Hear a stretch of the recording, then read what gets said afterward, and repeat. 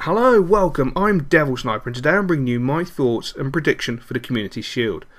So, Chelsea are the current FA Cup winners and UEFA Champions League winners after what can only be described as an amazing tournament and most memorable final, defeating Bayern Munich. While Manchester City won their first Premier League title in 44 years in dramatic style. What a final day to season, what a final game. With the traditional curtain raiser for the Premier League comes the Community Shield. And some would say that the stakes aren't high.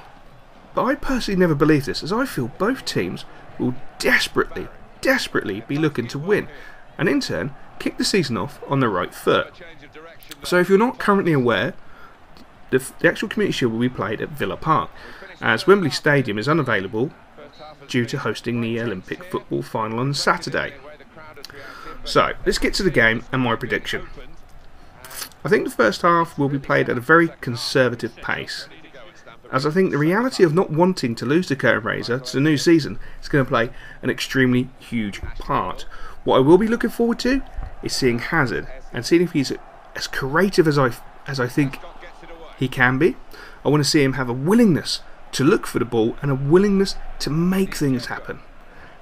I'm also looking very forward to seeing Torres. I hope he's I hope he's feeling bloody fresh and I want to have him to have I want him to have a huge impact. You know, I think after the summer, you know, the, the final few games of last season, what he done for Spain, I'm looking for him to have perhaps not a big game against City, but a big season. My concern for Chelsea at this moment in time is the fact that